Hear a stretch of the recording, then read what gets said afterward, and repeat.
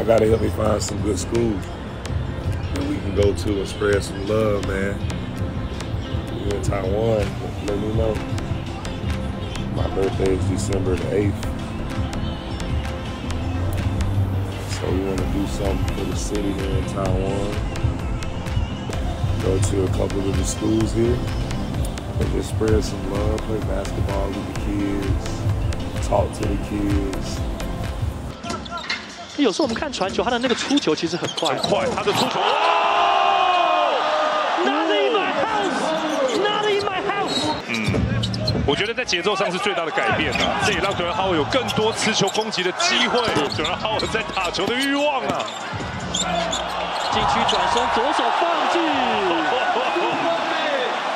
哇，这第一节跟昨天的第一节就不一样了。交给到 Stone，但是没进。That this coach felt this way about me. He's never seen me in person. He's never interacted with me.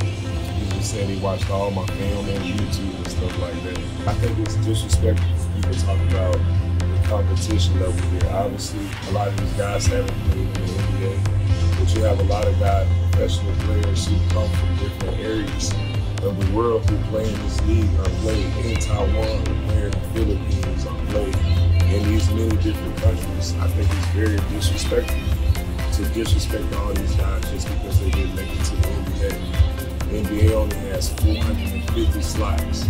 It's going to be hard for everybody in the world to make it to the NBA. So it don't mean that they don't have talent. It don't mean that they can't play in the NBA. That they're not good. It's just so yeah. That's what I want to do for your birthday, man. I appreciate that. The first game, oh, thank you. Yeah, that would be dope. I gotta help me find some good schools we can go to and spread some love, man. in Taiwan, let me know. My birthday is December the 8th. So we want to do something for the city here in Taiwan. But I want to do, I don't do you like it? Okay, okay, okay.